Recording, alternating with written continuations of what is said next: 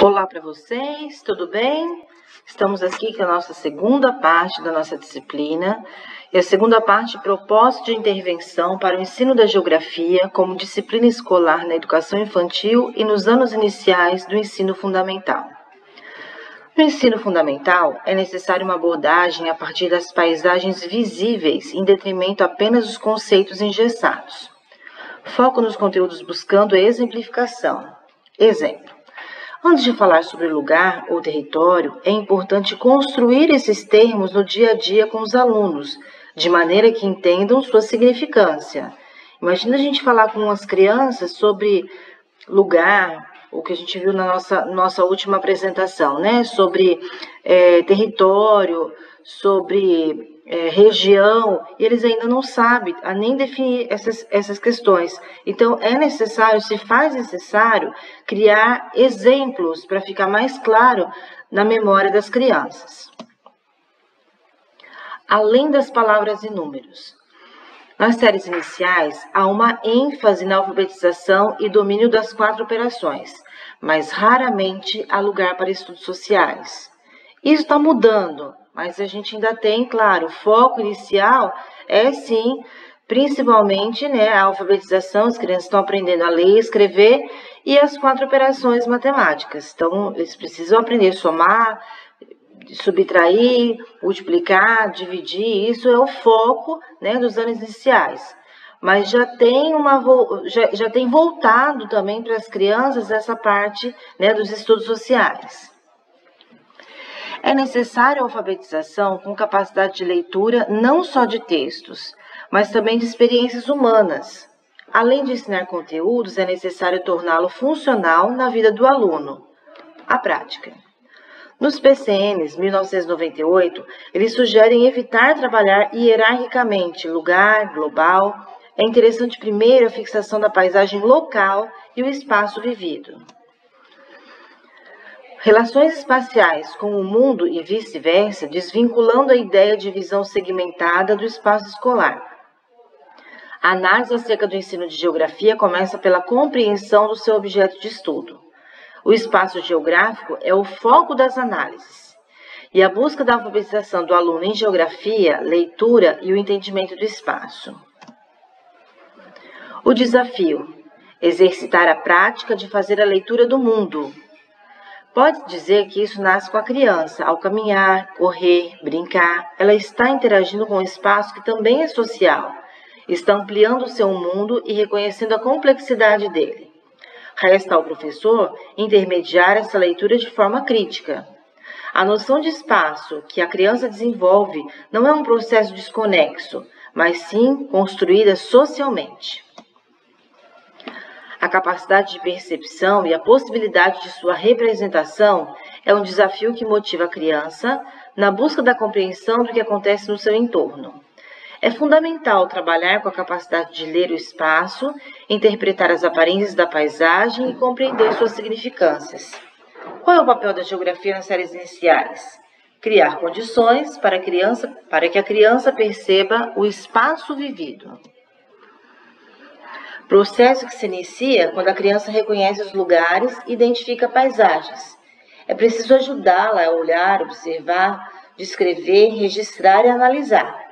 Exemplo: aproveitar a experiência dos alunos que moram em áreas urbanas descuidadas e discutir a poluição dos rios e os problemas sociais ribeirinhos. Exemplo: aproveitar as épocas de frio, calor, os dias chuvosos ou ensolarados para se falar do clima, das nuvens ou de manifestações da natureza. Exemplo: ao se trabalhar com a divisão regional brasileira, por que não perguntar aos alunos de que estados ou regiões são seus pais ou avós? É a partir de tais problemas que devem ser feitas a leitura, a representação e ser instigada a curiosidade para avançar na investigação e compreender o que ocorre. Do ponto de vista da geografia, essa perspectiva para se estudar o espaço, olhando em volta, percebendo as paisagens como um momento instantâneo de uma história que vai acontecendo. Neste processo de aprender a ler o espaço, não há uma regra nem um método estabelecido a priori. Não se espera que uma criança de 7 anos compreenda toda a complexidade das relações do mundo com o seu lugar de convívio e vice-versa.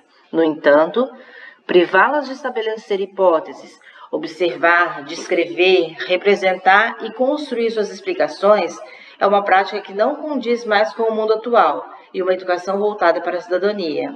Citação de Stranforini, de 2001. O olhar espacial. Ler o espaço geográfico é poder ler a sua própria história, construído diariamente. Esse é representado concretamente resultante das forças sociais passadas e, particularmente, pela vivência em curso dos grupos com os quais convive. A leitura da paisagem. Na interpretação da paisagem geográfica, a criança analisa sua história fixa e transtemporal. Trata-se de uma forma interessante de desvendar a história do, do espaço, considerando a história das pessoas que ali vivem. A criança e as relações espaciais. Evolução da noção de espaço.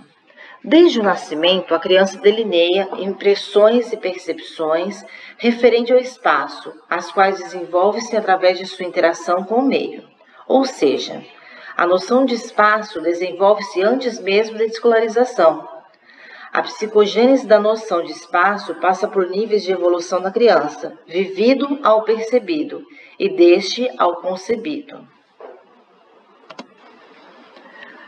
O espaço vivido, até cerca de dois anos, refere-se ao espaço físico, vivenciando através do movimento e do deslocamento é aprendido pela criança através de brincadeiras ao percorrer, delimitar e organizar o espaço segundo seus interesses. Nesse, há a necessidade de experimentar fisicamente.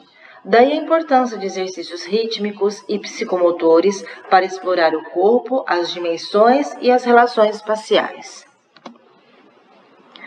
Inicialmente, o espaço é quase incompreensível, ocorrendo a sua conquista de forma gradativa. À medida que a percepção espacial avança qualitativamente, esquecimento da memória. Até os dois anos, o espaço é entendido como espaço vivido, da ação, construído a partir do contato, caminhar, engatinhar e relações de proximidade e distância. Assim, a consciência do corpo dada a partir do, da comunicação consigo mesmo é a base cognitiva para a exploração do espaço. Trabalhos com recortes textuais. A vivência do espaço. O espaço físico é vivenciado através do movimento e do deslocamento. O trajeto da casa à escola, as idas ao mercado, as brincadeiras no pátio, quintal ou vizinhanças, a criança percorre, delimita e o organiza segundo seus interesses. Em seguida, a criança apreende o espaço percebido, onde já não precisa experimentá-lo fisicamente. Após os seis anos, é capaz de lembrar-se do percurso da casa à escola, o que não se dava antes, pois era necessário percorrê-lo para identificá-lo. Ao observar uma foto, já é capaz de distinguir as distâncias e a localização dos objetos. Antes, só era capaz de perceber o aqui, ali e o acolá a ampliação do campo empírico quanto à análise do espaço. Ao ingressar na educação infantil, a criança deve apropriar-se do espaço por meio das vivências estabelecidas. Andar, correr, pular, saltar, escorregar, subir, descer, empurrar, puxar, deitar, sentar, cair, dançar. Tudo isso é fundamental para o seu desenvolvimento. A vida nas instituições de educação infantil é marcada pelo movimento, que possibilita a interação com o mundo. É uma forma de linguagem para explorar e conhecer o mundo e o próprio corpo, seus limites e possibilidades. Porém, há escolas que não permitem que as crianças se movimentem, sendo essas engessadas nas cadeiras, o que dificulta a apropriação do espaço por meio do seu corpo. Essa postura desconsidera que o sistema sensório-motor exerce uma grande importância na organização psicológica do espaço. A consciência do corpo e de seus movimentos se desenvolve de maneira lenta, perdurando até a adolescência. Neste sentido, a escola tem o dever de possibilitar que o aluno desenvolva essa consciência. Para Piaget, a criança constrói seu conhecimento tendo experiências com os objetos sem formar conceitos sobre estes, que ocorrerão mais tarde. Na experiência física, a criança conhece propriedades materiais que podem ser notadas através da observação e do tato. O primeiro espaço que a criança vivencia é postural e orgânico, ou seja, o corpo é o seu movimento. As crianças preferem brincadeira que limitam parte do pátio da escola, pois não conseguem ocupar um espaço tão grande. O mesmo acontece quando recebe uma folha, limitando-se a usar apenas uma de suas partes. Na verdade, não conseguem percebê-lo, desculpa, na verdade, não conseguem concebê-lo para poderem organizá-lo. Segundo espaço, um mundo quase impenetrável, ocorrendo sua conquista aos poucos. Assim, as relações topológicas vêm em primeiro lugar, seguidas as relações projetivas e euclidianas, e progressivamente admitindo ações com grau de complexidade cada vez maior. Relações espaciais topológicas elementares. São as relações espaciais estabelecidas no espaço próximo que usam referências desculpa, que usam referenciais elementares como dentro, fora, ao lado, na frente, atrás, perto, longe e etc. As relações topológicas começam ao nascimento e são a base para as relações espaciais mais complexas posteriores, partindo dela para o seu entorno. Daí é possível abordar questões mais amplas envolvendo a classe, os ambientes da escola e o bairro. Tais relações estão presentes nas tarefas mais simples do dia a dia, como o deslocamento de um local a outro ou mesmo quando se busca a localização de objetos. No plano perceptivo, espaço percebido, as relações espaciais se processam na seguinte ordem: de vizinhança, separação, ordem, envolvimento continuidade. A relação de vizinhança corresponde àquela em que os objetos são percebidos no mesmo plano, próximos contíguos. Exemplo: o quadro ao lado da porta, a sala ao lado do pátio. Ao considerar a vizinhança, a criança percebe que os objetos vizinhos têm separação, isto é, não são unidos. Nisso, nota que os objetos próximos em um mesmo plano estão separados. Exemplo: a porta e o quadro podem estar na mesma parede, porém são separadas a uma parte entre elas. A ideia anterior implica a relação de ordem ou de sucessão, onde há primeiro o quadro, no meio a parede e depois a porta. A percepção de cada elemento e sua relação com os demais leva à relação de envolvimento, que pode ser percebida em uma, duas ou três dimensões. Exemplo: em duas dimensões, podemos elencar a sequência de cartazes, desenhos e trabalhos postos na, na parede da sala. Exemplo: em três dimensões, podemos elencar a sequência das carteiras da sala de aula. Nesses espaços exemplificados, se nota a sequência de pontos, ou seja, em continuidade, pois o espaço é contínuo, sendo impossível a ausência de espaço. As localizações são, portanto, contínuas e o espaço forma um todo. Apesar de não proporcionar uma localização exata, as noções topológicas são usadas para localização relativa que tem o corpo como referencial. Esses sistemas simples de localização fazem parte do esquema de localização cotidiano de qualquer cidadão. A localização geográfica constrói-se à medida que o sujeito se torna capaz de estabelecer relações. De vizinhança, o que está ao lado. De separação, fronteira. De ordem, o que vem antes e depois. De envolvimento, o espaço que está em torno. E de continuidade, a que recorte do espaço a área considerada corresponde, entre os elementos a serem localizados. Por isso, é difícil realizar um estudo geográfico de áreas isoladas, descontextualizadas. A ideia de que a localização está relacionada com os pontos cardeais, norte, sul, leste, oeste, é um equívoco, pois outras noções prévias estão envolvidas no processo de localização. As noções iniciais de localização vêm com a construção das noções topológicas elementares, que não são muitas vezes levadas em conta no sentido da localização. Inicialmente, o corpo é usado como meio para orientar-se no espaço, sendo este determinante para os referenciais de localização. O corpo atua sobre o meio permitindo um certo domínio espacial pela ação e pelo movimento. Vencendo a etapa das construções topológicas, a localização começa a basear-se em esquemas projetivos. O principal esquema é o de lateralidade, no qual os sujeitos trabalham com referenciais do corpo para estabelecer a localização. Muitas vezes, na construção de mapas mentais, utilizamos a lateralidade como referência, que potencializa os estudos da rosa dos ventos e os seus pontos. Descentralização espacial. Para Piaget, o pensamento intuito, característico da criança entre 4 e 7 anos, assenta-se sobre aquilo que ela percebe. Na construção da noção do espaço, é através desse processo que começa a dar conta que o juízo que faz a localização dos objetos pela sua referência não condiz com a realidade. A criança que partia do uso do corpo como referência espacial começa a perceber que outros referenciais podem ser usados. Exemplo: percebe que a mesa pode estar perto de si e, ao mesmo tempo, longe de seu colega. Passa então a situar objetos a partir das relações espaciais entre eles, sendo este processo chamado de descentralização.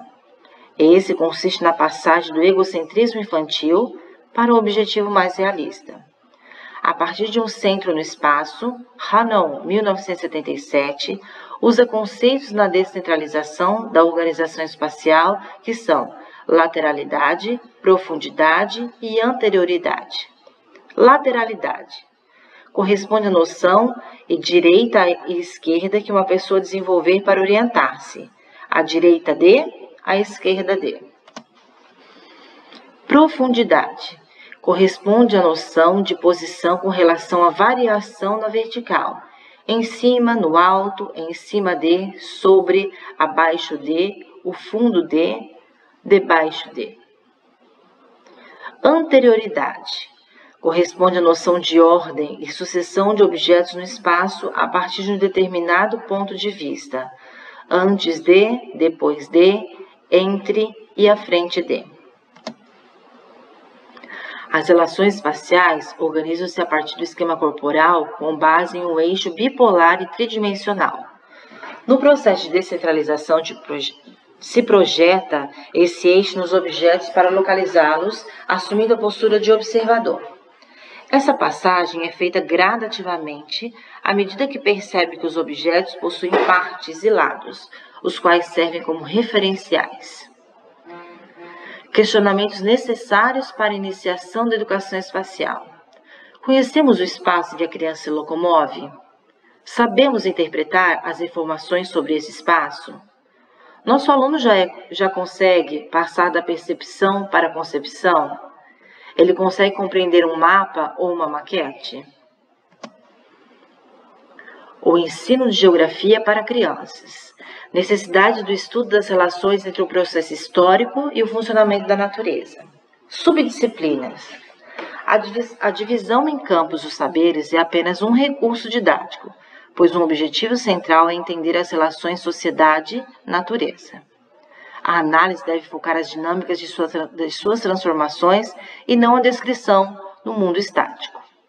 A compreensão dessa dinâmica requer movimentos constantes entre temas bióticos e abióticos. Por que estudar geografia? Três razões para responder essa pergunta: para conhecer o mundo e obter informações. Número 2.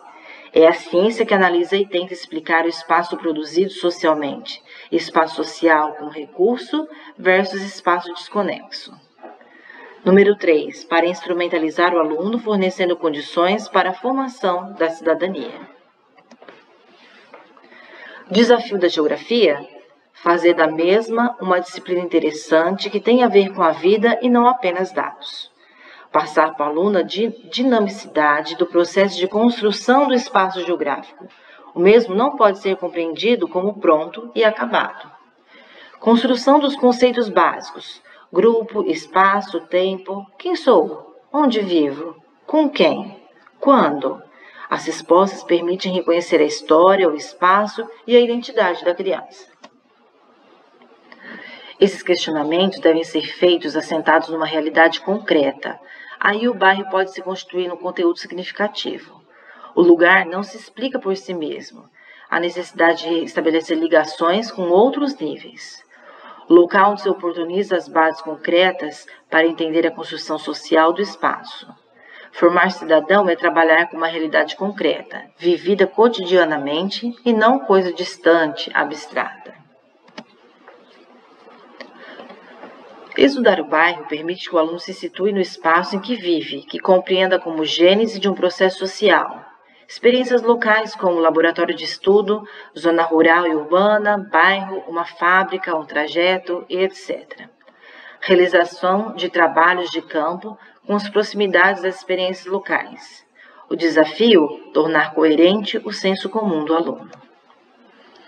Kerschen citado em 1998, vê no ensino de geografia para crianças uma das possibilidades da formação do cidadão, posicionamento crítico frente às desigualdades locais. Foco no lugar. O distante, longínquo e global são entendidos como conceitos abstratos. Incoerência entre o modo de ensinar e o movimento de viver da sociedade. Conteúdos neutros que mascaram a realidade. Diante disso, qual deve ser o ponto de partida no ensino de geografia? Para Potuska, citado em 1999, as condições de existência social dos alunos são pontos de partida, sustentação para a compreensão do espaço geográfico, dentro de um processo que vai do particular ao geral e retorna enriquecido ao particular. A realidade, ou o lugar em que se vive, é o ponto de partida para se chegar à explicação dos fenômenos, busca de explicações, de comparação e de extrapolação. A inserção na sua realidade, compreensão de participa de forma ativa na produção do espaço. Realidade entendida como algo em processo de constante movimento, espaço nunca pronto e acabado. Fugir da geografia enumerativa, descritiva e enciclopédica Fragmentação do conteúdo em geografia humana, econômica e físico, é física e irreal. Prática errônea de total hierarquização do espaço, onde cada dimensão é ensinada de forma fragmentada e independente. As mídias globais confundem a noção de escola. Tudo apresenta um significado em escala mundial, aldeia global. Todavia, é impossível esconder da criança o mundo. Exemplo, a Copa do Mundo. Com a globalização e o avanço das tecnologias, o lugar não pode ser entendido como uma categoria que se encerra em si. Para Santos, citado em 1997, ele é cada vez mais objeto de uma razão global e de uma razão local, convivendo dialeticamente. A realidade continua sendo o ponto de partida, com possibilidade de estabelecimento primeiras, das primeiras relações mundo. O mundo é uma abstração porque ele nada mais é do que um conjunto de possibilidades, cuja efetivação depende das, depende das oportunidades oferecidas pelos lugares. O lugar é que permite a empirização do mundo, podendo revelar suas contradições. A categoria lugar possibilita trabalhar as realidades sem se prender com os limites administrativos. Aprender e ensinar geografia. A maneira mais comum de se ensinar geografia tem sido a partir dos discursos do professor e livro didático. Após a exposição, ocorre a avaliação pelos exercícios de memorização. Todavia, abordagens atuais têm buscado práticas pedagógicas que permitam mostrar diferentes aspectos de um mesmo fenômeno, busca de compreensões mais complexas. Na avaliação, busca explorar procedimentos de problematização, observação com fins de formular hipóteses e explicação da estrutura espacial. Para tanto, a natureza e a sociedade têm que ser estudada conjuntamente, base material sobre o qual o espaço geográfico é construído. O estudo da paisagem local não se deve restringir à mera constatação e descrição. Deve-se prezar as relações entre a sociedade e a natureza que aí se encontram presentes. Buscar a inserção do aluno no ambiente, uma metodologia para a formação conservacionista. Superar o discurso naturalista e considerar os aspectos de sociedade, cultura, trabalho e cidadania. Um exemplo é a favela. A geografia multidisciplinar, exemplo, literatura, vídeos, filmes, fotos, fontes de informação e de leitura do espaço. Critérios de seleção, organização dos conteúdos de geografia. A aquisição de conhecimentos básicos em geografia é fundamental para o desempenho das funções de cidadania. Para tanto, a seleção de conteúdos deve contemplar temáticas de relevância social, constituição e identificação com o lugar, nação brasileira, diversidade. Também deve-se selecionar conteúdos relacionados às teorias de análise da geografia, identificação de singularidades do espaço geográfico. A geografia é uma ciência social, ao ser estudada, tem de considerar o aluno e a sociedade em que vive. Não pode ser algo alheio, amontoado de assuntos desconexos apenas com descrições de lugares deve permitir que o aluno se perceba como participante do espaço, fugir da catalogação enciclopédica, onde o homem é um fato a mais na paisagem, sem ser social e histórico. Eu agradeço a todos que nos ouviram até aqui. Espero que vocês façam bons estudos. Obrigada.